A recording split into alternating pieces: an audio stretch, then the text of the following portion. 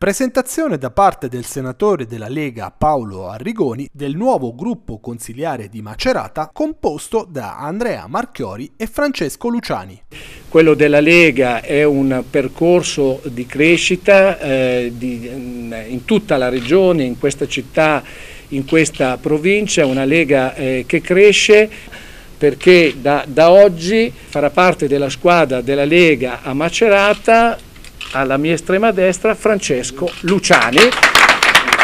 Francesco Luciani è il vicepresidente del Consiglio Comunale, segretario nazionale del COIR e lui è il rappresentante di circa 40.000 carabinieri a livello nazionale e lui insieme ad Andrea Marchiori eh, rappresenteranno eh, da domani immagino il gruppo eh, della Lega eh, in Consiglio Comunale eh, a Macerata. Di fronte alle domande sul profilo del futuro candidato sindaco del centrodestra a Macerata, il senatore Arrigoni ha confermato come si tratterà di un candidato condiviso da parte della coalizione. Il, il candidato sì, noi voglio dire, l'idea è quello di trovare una rosa di persone rappresentative eh, del, del centrodestra, una persona competente, di esperienza eccetera e sarà individuato eh, concordemente con, uh, con gli altri insomma. Primo punto all'ordine del giorno per Luciani, la sicurezza. Noi dobbiamo cercare di dare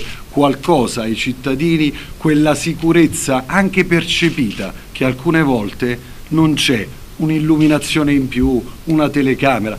Mi ha fatto piacere qualche giorno fa, qualche settimana fa, che qualche giornale ha scritto che Macerata è capofila per quanto riguarda la videosorveglianza. Sa perché mi fa piacere Paolo? Perché dieci anni fa, giusto il, 15, il 12 di dicembre del 2010, una proposta, un ordine del giorno fatto dal sottoscritto ci abbiamo messo dieci anni, però forse ci siamo arrivati.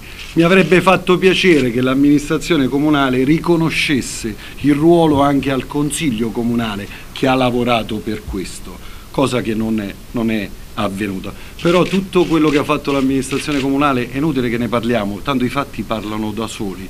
Noi dobbiamo cercare solo di andare avanti, io cercherò di dare tutto quello che posso in questa squadra e alla coalizione di centrodestra per portare finalmente Macerata a un sorriso con un bel sole, anche se oggi piove.